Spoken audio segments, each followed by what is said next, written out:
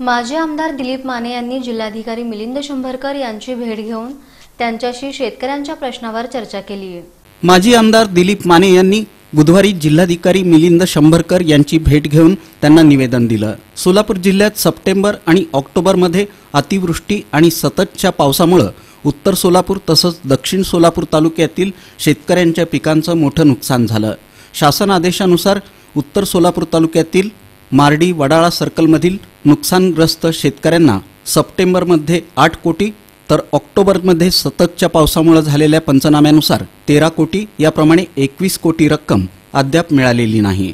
दक्षिण सोलापूर तालुक्यातील सप्टेंबरमध्ये झालेल्या पंचनाम्यानुसार मंद्रुप आणि निंबर्गी सर्कलमधील शेतकऱ्यांचे आठ कोटी तर ऑक्टोबरमध्ये सततच्या पावसामुळे झालेल्या नुकसानग्रस्त शेतकऱ्यांचे चौदा कोटी त्र्याऐंशी लाख रुपये याप्रमाणे बावीस कोटी त्र्याऐंशी लाख रुपये रक्कम मिळालेली नाही.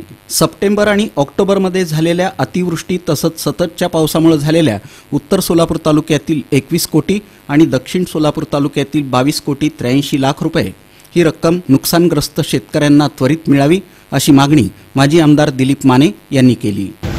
उत्तर व दक्षिण सोलापूर तालुक्यातील अतिवृष्टीमुळे झालेलं नुकसान याचा पहिला हप्ता उत्तर व दक्षिण सोलापूर आणि महाराष्ट्रामध्ये सगळीकडे मिळालेला आहे.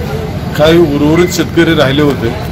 त्यांचे दोन्ही दक्षिण आणि उत्तरचे जवळजवळ चाळीस बेचाळीस पंचेचाळीस कोटी रुपये अजून येणार.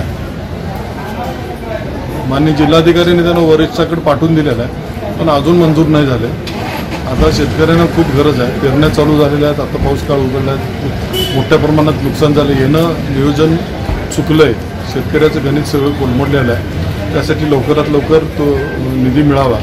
त्यासाठी मान्य जिल्हाधिकाऱ्यांना मी बोललो जिल्हाधिकारीने वरिष्ठ परत पाठपुरावा करतो म्हणले लवकर लवकर मिळवून देण्याचा प्रयत्न करतो. या मागणीसह मुंबईत गोवरचा धोका वाढला असून दिवसेंदिवस रुग्ण देखील वाढत आहेत. हा संभाव्य धोका टाळण्यासाठी सोलापूर जिल्ह्यात देखील आरोग्य विभागानं सतर्क राहणं आवश्यक आहे. यासाठी जिल्ह्यातील प्राथमिक आरोग्य आणि उपकेंद्रांअंतर्गत असलेल्या गावातील बालकांची दक्षता म्हणून आरोग्य अधिकारी आरोग्य सेविका आशा सेविका अंगणवाडी सेविका यांच्याकडून सर्वेक्षण करून उपाययोजना करण्याची आवश्यकता आहे. त्यामुळं तसे आदेश द्यावेत अशी मागणी माजी आमदार दिलीप माने यांनी केली.